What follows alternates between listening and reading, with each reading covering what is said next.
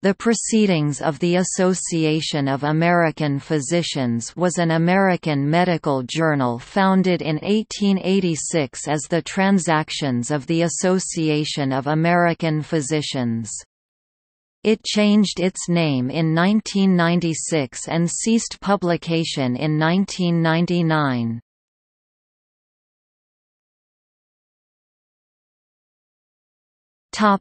External links